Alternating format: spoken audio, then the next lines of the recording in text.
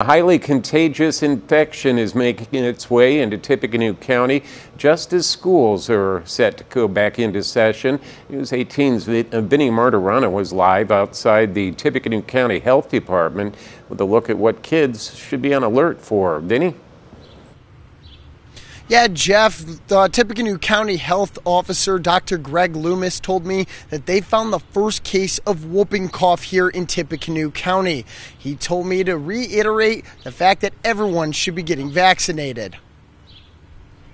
Tippecanoe County Health Officer Dr. Greg Loomis told News 18 whooping cough has been found in a child here in Tippecanoe County. And we have a, a, young person who has it that exposed probably about 30 other people and possibly some adults. So we do have some people on prophylactic treatment right now. Whooping cough is a highly contagious respiratory infection. Normally the cough is an irritation of the upper airway in the lung and it causes an exasperating cough where you can even break ribs.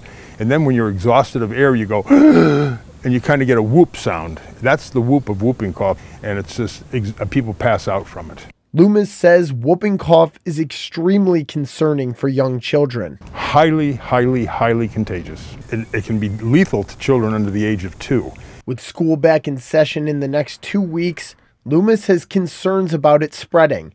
The younger the child, the more problems come with it. When we see kids this age, we're worried about it because it could spread into older siblings, and thank heavens we're not in school right now. Older siblings can catch whooping cough and spread it to other students in school.